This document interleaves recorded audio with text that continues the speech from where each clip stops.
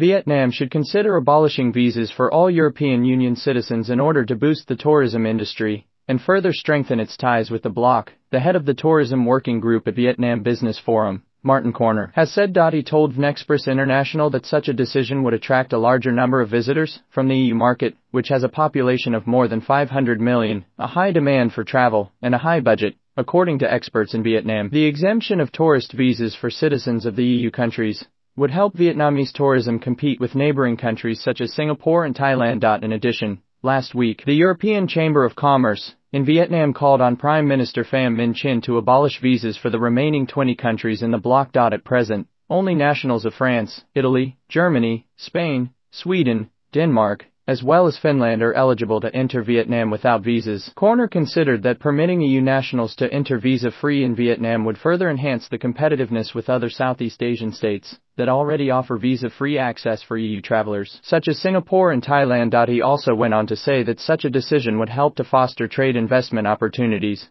as well as exchange between Vietnam and EU countries particularly after the implementation of the EU-Vietnam Free Trade Agreement. Besides, Koerner said that granting visa-free entry for citizens from European countries would enhance bilateral relations as well as cooperation between Vietnam as well as the EU countries in several sectors, including education, investment, trade, culture and security, among others. He added that its letter had garnered substantial support from Team Europe, with the letter being signed by a total of 18 ambassadors of EU member states to Vietnam, as well as chairs of national European business associations. According to the member of EuroCham's Tourism Committee, Nuno Ribeiro granting visa-free entry for nationals would further help attract visitors from other countries with higher discretionary income and, therefore, more spending power which will further contribute to the economy of Vietnam. Ribeiro, who serves as Deputy Senior Program Manager in Tourism and Hospitality at RMIT Vietnam, noted that in addition to visa relaxation, authorities in Vietnam should invest in infrastructure, including roads, airports as well as public transportation. Among others. He said that in addition to visa relaxation,